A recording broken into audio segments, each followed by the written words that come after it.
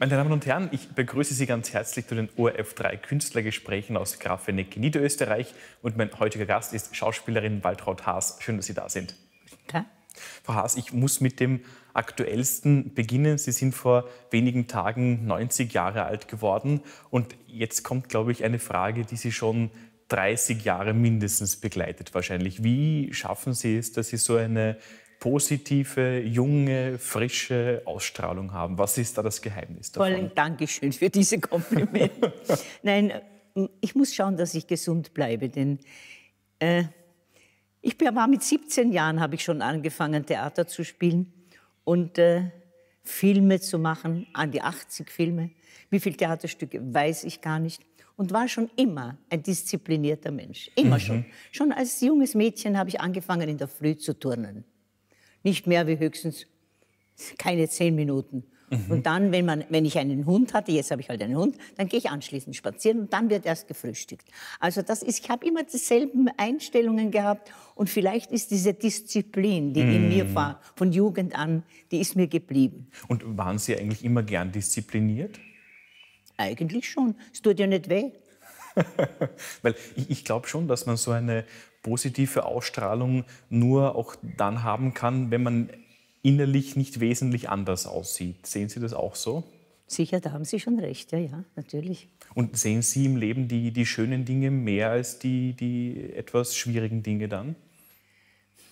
Nein, eigentlich nicht. Ich, ich lasse alles immer an mich herankommen. Mhm. Wenn es Negatives ist, bemühe ich mich, das langsam zu vergessen. Und mhm. das Schöne genieße ich dann doppelt. Mhm. Jetzt gibt es, wenn man den Namen Waltraud Haas hört, sofort einen Film, der einen einfällt. Im Grunde der, der erste große Film, das Mariandel. Und was ich so toll finde bei Ihnen, ist, dass Sie über die ganzen Jahre hinweg immer gern darüber gesprochen haben. Sie haben nie gesagt, jetzt hört es mir bitte auf damit oder es habe ich schon tausendmal erzählt, die Geschichte. Sie haben immer das gern erzählt und ich finde das wirklich eine, eine, eine Qualität, muss ich sagen. Gott, das war ja doch nach dem Krieg, nicht? Es war 48, 47 war ich in, in, in Linz engagiert und da hatten wir einen Kollegen, der gesagt hat, du, die suchen dringend der Mariandel, da will die Willy Forst Filmproduktion. Die, denen ist keine jung genug. Sagt er, du bist zwar auch schon 17, 18, aber schaust aus wie 14. Sag ich, ja, auf, ne? dann melde dich doch bitte. Und es war nicht so einfach, mhm. weil damals Züge sind nur gegangen. Ich muss, sollte Punkt 10 Uhr bei der Willy Forst Filmproduktion. Und dann haben gesagt, wie mache ich das jetzt? Dann haben die gesagt, da gehen Lastwegen. Die transportieren Waren nach Wien. Die fahren immer um 5 Uhr früh weg. Sag ich, naja, dann gehe ich halt, bitte ich halt, ob die mich mitnehmen. Und es war Februar. Die haben mich eingewickelt Fünf in eine Decke. Und auf die Plane habe ich mich dann hingesetzt. Und dann sind wir natürlich äh, gelandet in, in, in Enns. Da war die Russenkontrolle. Die haben genau geschaut, ob alles in Ordnung ist. Mhm. Und dann sind wir noch gefahren, insgesamt sieben Stunden von Linz nach Wien. Völlig durchfroren bin ich dann bei der Willy Forst Filmbüro angekommen, habe mich ins Büro gesetzt, habe gewartet, war keiner da. Auf einmal kommt der Willy Forst quer durch den Saal, merkt gar nicht, schaut mich gar nicht an, weg war er. Kurze Zeit danach kommt der Regisseur des Films, der Hans Wolf, und dann sagt Willi, Willi, warte, warte, das war sie. Das ist mein Mariandel, schau sie dir doch an. Die schaut aus wie 14. Hat er gesagt, na ja, ja, ja, aber du weißt ja nicht, ob das Fräulein sich nicht bei mir bemerben will hier für, für eine, als Putzfrau. Sag ich, nein, ich komme aus Linz. Und dann hat er dann schon ein bisschen aufgepasst. Mhm. Sagt er, aber sie muss schon Probeaufnahmen machen. Und die waren schlecht. Ganz schlecht. Denn das damalige Filmmaterial war sehr hart. Mhm. Und meine echten blonden Haare kamen weiß. Oh. Und ich habe älter ausgeschaut, als ich ausstehen sollte. Jetzt hat man mich rot gefärbt. Rötlich okay. und das Rötliche kam dann im Film blond. Und so bin ich Mariandel geworden. Mein Gott, Sie haben ja auch in unfassbar vielen Heimatfilmen mitgespielt. Und auch da sagen Sie nicht, naja, das war nur Unterhaltung. Sie sind eigentlich stolz darauf und Sie sagen, das hat ganz, ganz viele Menschen Freude gemacht. Da habe ich einmal beinahe eine sehr unangenehme Sache erlebt. Und zwar gab es da in Deutschland eine Journalistin, die immer Interviews gemacht hat, aber war immer ein, ein Sänger, eine Schauspielerin dann irgendein Künstler, ein, sagen wir, Maler oder mhm. so. Und äh, die hat mich eingeladen und ich bin da hingekommen in einem Hotel.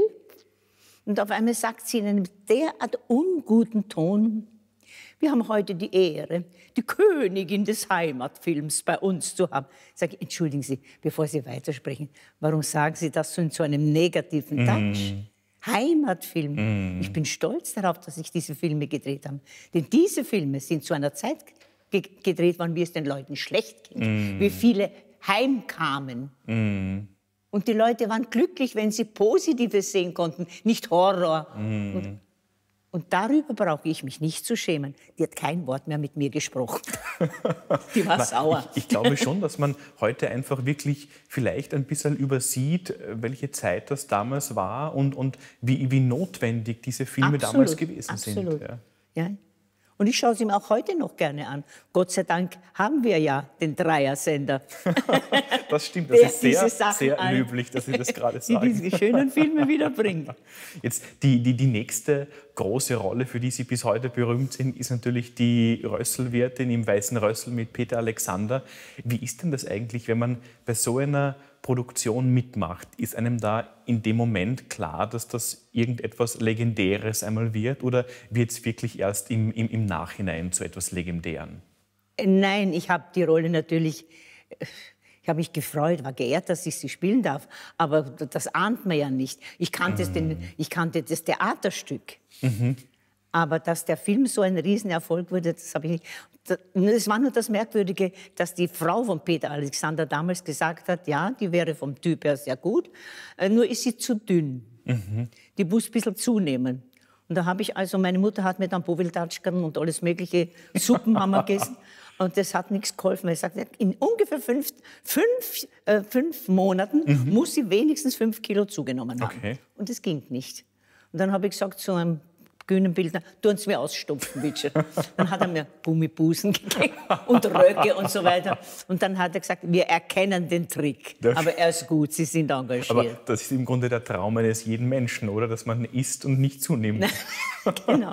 Nein, nein, es war dann also alles in Ordnung und wir haben und ich hab dem, wir haben uns sehr, sehr gut verstanden während des Ganzen. Und das war halt auch der große Erfolg, dass wir irgendwas, ein ideales Paar waren. Mm, und das, das Lustige stimmt, ja. war, dass eine deutsche Zeitung geschrieben haben, wir haben endlich wieder ein neues deutsches Liebespaar. Sagt der Petros gehört, wir sind ein deutsches Liebespaar. Wir sind doch Österreicher, aber wir haben es los. War da die Frau von Peter Alexander eifersüchtig ein bisschen?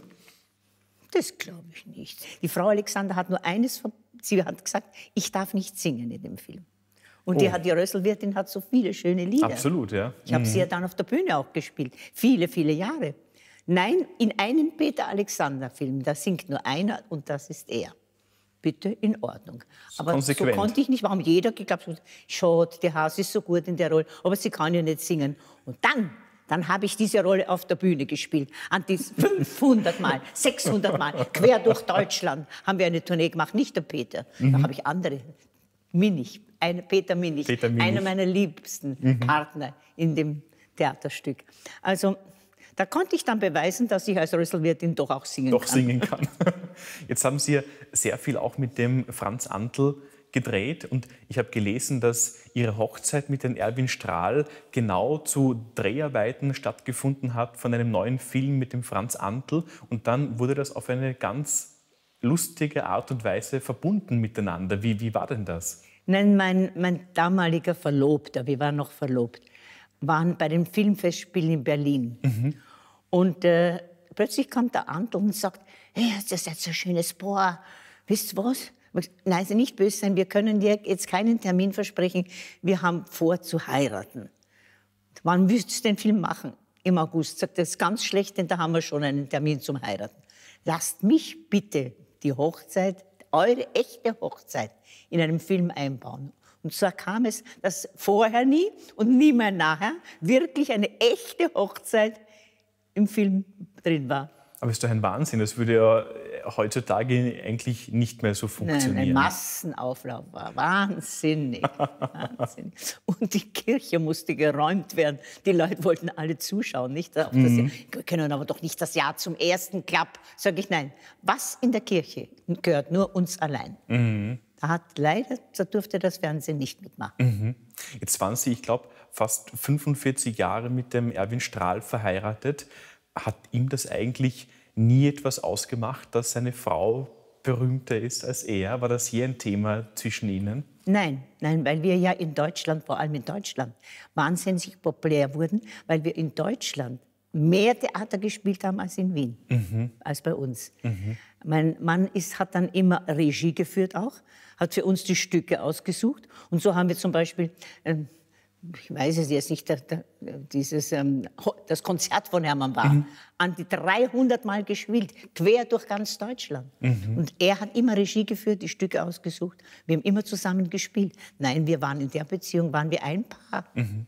Das heißt, vielleicht war es nach außen so, dass Sie die Bekanntere waren, aber in der Beziehung selber hat Nein. man sich das Gefühl gegeben, dass man wirklich auf, auf einer Ebene steht und, und Da habe ich schon aufgepasst, das wollte ich nicht haben. Auch wenn Interviews waren, habe ich gesagt, immer, immer nur, wenn es ein Stück war, wo wir beide gespielt haben. Mhm. Nie für mich allein, immer mit ihm zusammen. Aber das ist auch, finde ich, auch eine, eine, eine wirkliche Qualität, dass man, dass man dann nicht das eigene Ego davor stellt. Er war so ein großartiger Regisseur, dass ich da nichts zurückstellen musste.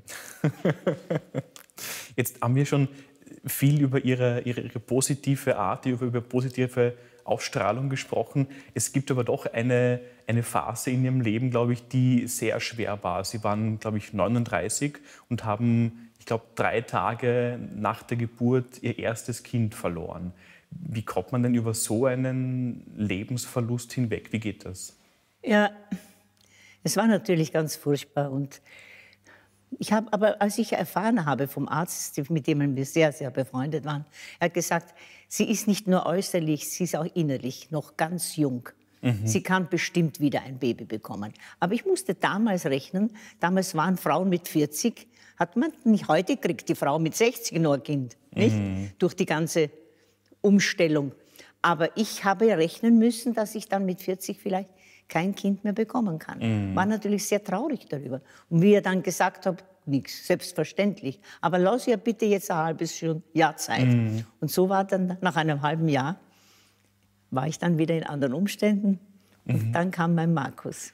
Aber sind Sie ein, ein gläubiger Mensch? Hilft in solchen ja. Momenten ja. Ja. Der, der, der, Glaube? Ja. Das gibt dann schon den, den Halt, den, ja, den man wahrscheinlich von woanders her in der Form wahrscheinlich schwer bekommen kann. Ja, nein, nein. Jetzt gibt es neben dem Erwin Strahl und ihrem Sohn ja noch einen, einen dritten Mann in ihrem Leben, wenn ich das so sagen kann, nämlich den Hans Moser, der immer wieder eine, eine große Bedeutung hat in ihren Gesprächen, in ihren, in ihren Erzählungen. Schauen Sie eigentlich gerne auf, auf die Zeit zurück? Sind Sie jemand, die gerne in, im Vergangenen schwelgt? Ja, es hat ja schon damals angefangen, wie ich das Mariandel dann spielen durfte. Da haben die gesagt, die drei Hauptdarsteller, der Moser, der Hörbüger und die Andergast. Wir wollen aber gern diese Kleine, die da jetzt diese Rolle spielen sollen, eigentlich die beste Rolle in dem Film, die wollen wir schon einmal persönlich sehen, bevor wir mit der anfangen zu drehen. Also sie waren nicht sehr einverstanden. Und äh, sie wussten ja, dass das Mariandel dann wahrscheinlich durch das Lied sehr populär wird. Mhm. Und da bin ich halt dann dorthin gekommen und da haben sie mich alle sehr prüfend angeschaut, außer dem Moser der hat sofort gemerkt, dass ich ein bisschen Angst habe. Mhm. Und sagt, also pass auf, für dich bin ich jetzt der Hansi und du bist für mich die Hasi. Und die Kleine lässt in Ruhe, die steht unter meinen Schutz. Und so war es ein Leben lang. Aber das ist schon toll, oder? Wenn, wenn man da ein bisschen so jemanden hat, der die, die schützende Hand über war einen hält in, unglaublich, in so unglaublich. einem Betrieb. Ich habe zehn Filme mit ihm gemacht und das Schönste war, mit ihm Theater zu spielen. Mhm. Das war wirklich wunderbar. Mhm. Und er ist, immer wenn er irgendwo zum Beispiel, wenn wir wo essen waren und seine Frau wollte nicht haben, dass er das hat oder der Palatschinken hat er heute so viel gern gegessen. Und dann ist seine Frau auch da gewesen und dann kam ein Anruf für sie und sie sagt, pass, pass auf, du bestellst deine Palatschinken und wenn der Kölner kommt, schiebst du zu mir. Und, und nachher esse ich die Palatschinken. Da habe ich gesagt, gut, okay. Also dann sie ist telefonieren gegangen und dann ist der Kellner gekommen mit der Palatschinke, hat zu ihm hingestellt. Er schneidet, macht den ersten Bissen und sie kommt und sagt, iss, iss. Iss, bitte iss, sonst merkt es. Aber war das so eine, ein bisschen auch so eine, so eine Vater-Tochter-Beziehung? Ja, absolut, Kann man das? Ja? absolut, ja. Aber es ist, finde Er hat ich, mich immer beschützt, immer. Ja, auch dann war ich sehr krank einmal und der Arzt hat gesagt, ich darf nicht mehr drehen, weil Mhm. die heiße Sonne wäre nicht gut, weil ich Fieber hatte. Und, und der Film musste aber schon abgedreht werden. Und er ist unentwegt hinter der Kamera her mit einem Schirm. Und ich habe gesagt, Hasi, die stirbt mal. Und ist immer mit dem den Schirm hinter mir her, um mich zu beschützen, dass ja keine Sonne auf mich kommt. Sagt der Kameramann, wie soll ich den filmen, wenn ich keine Sonne habe? Nein, dann ist wurscht, dann hören Sie halt auf. Die Hasi muss ja ohne Schirm. Also, also es war, er war köstlich. würden Sie sagen, gibt es eine, ein, eine Phase in Ihrem Leben oder eine Zeit in Ihrem Leben, wo Sie jetzt rückblickend sagen, da war ich wirklich am, am glücklichsten oder am zufriedensten? Ja, natürlich, mit meinem Mann. Diese Fahrten zum Beispiel mit den Schiffen, wo wir die ganze Welt sehen durften und sogar aufgetreten sind, es war wunderbar. Aber es ist schon ein, ein, ein Lebensglück, oder? Wenn man jemanden trifft, wo man dann wirklich sagen kann. Ja, vor allem auch spät, nicht? Ich war 38 und er war 36. Ich habe ihn zwar schon früher gekannt, nicht als, so als Kollege trifft, man sagt, man grüßt sich und so weiter. Aber die Liebe kam eigentlich sehr spät dazu. die- Aber wenn Sie jetzt sagen, dass das die schönste Zeit im Leben war, vielleicht können Sie sagen, wie, wie geht man denn eigentlich dann in einer Beziehung um, wenn es Schwierigkeiten gibt? Weil es war wahrscheinlich sicher nicht immer alles äh, wunderschön, oder? Er hat mich nie betrogen. Also was soll er bitte? Zumindest habe ich nie was bemerkt. Obwohl er zweimal in Amerika war. Er hat Dichterlesungen gemacht in Amerika. Aber er war ein wunderbarer Mann. Ich vermisse ihn sehr. Es sind jetzt sechs Jahre, dass er nicht mehr bei mir ist. Und denken Sie oft an ihn? Ja. Jetzt habe ich kürzlich, ich weiß nicht, ob ich das erzählen soll, ich schlafe manchmal schlecht und träume plötzlich, dass ich einen Brief von ihm bekomme. Und in dem Brief steht, das ist diesmal der letzte Brief, den ich an dich schreibe. Okay. Was heißt das bitte? Aber Was ist, heißt das, das? ist das Gefühl beim Aufwachen dann ein Na, angenehmes? ich, äh, oder geschockt ein, war ich. ein- ein- geschockt war ich. Was soll das? Er ist ja doch schon so lange jetzt nicht mehr am Leben. Und was sollte das? Warum schreibt er mir einen Brief? Mhm. Das ist jetzt der letzte Brief, den ich an dich schreibe. Ja. Nein. Aber dieser, der, der beschäftigt mich sehr, dieser Brief. Vielleicht frage ich ja mal irgendeinen Mhm. Menschen, der damit sich beschäftigt mit diesen Sachen. Und wie, wie macht man es dann in so einer Zeit, um einfach wieder ein bisschen Lebensfreude zu bekommen? Ja, ich hatte ja meinen Sohn. Mhm. Mein Sohn. Jetzt spiele ich ein Stück, das heißt Der Himmel auf Erden. Und ich bin gestern gefragt geworden, was, was ist für Sie der Himmel auf Erden? Da habe ich gesagt, mein Sohn ist für mich der Mhm. Himmel auf Erden. Es war schön, dass man dann auch wirklich auch eine, eine gute Verbindung hat und eine gute, einen guten Draht zueinander Auch in der mit Familie. meiner Schwiegertochter bin ich sehr gut. Mhm. Wenn ich zum Beispiel krank bin, sie macht mir Hühnersuppen und alles nur damit ich wieder in Ordnung. Sie ist sehr, sehr, sehr rührend, meine Schwiegertochter. Das heißt, Sie spielen momentan den Himmel auf Erden. Wie, wie oft steht denn der eigentlich noch am Programm? Wie oft sind Sie denn jetzt noch auf der Bühne zu sehen? Ja, jetzt machen wir ja die Schiffsreise. Jetzt Mhm. habe ich nur noch eine Vorstellung, weil er hat, er hat, war so lieb, hat gesagt, dann setze ich jetzt ein anderes Stück an. Aber das heißt, Und Schiffsreise zur Erklärung, das ist das Geschenk Ihres Sohnes zum 90. Zum 90. Geburtstag. Geburtstag. ja. Weil ich eben mit, mit meinem Mann dort dreimal war in Norwegen und es Mhm. hat uns immer so gut gefallen. Er hat gesagt, jetzt kommst du einmal mit mir. Aber das ist eine schöne, ein, ein, ein sehr schöner, da schließt sich natürlich wieder ein, ein Kreis, wo man Ja. dann doch im Grunde, auch wenn man zu zweit hinfährt, man ist im Grunde so im Herzen dann doch zu dritt wahrscheinlich dort. Natürlich. Liebe Frau Haas, was wünsche ich Ihnen? Gesundheit. Dass ich nicht noch einmal über Stirn runterfalle. Dann Aber wünsch- da passen die Kollegen sehr gut auf. Komm her, komm her, komm her, gib mir die Hand. Ich, alle, jeder will mir immer helfen, mit mir runtergehen. Also hinauf ist kein Problem. Aber Beim? Runter muss ich immer aufpassen, weil da ist ein bisschen noch in mir so, hm, was ist, wenn ich jetzt... Aber es geht immer gut. Dann- ist immer jemand da, der mir hilft. Dann wünsche ich Ihnen Gesundheit und wenig Danke. Stufen. Ich bedanke mich ganz herzlich, Danke. Frau. Vielen Dank.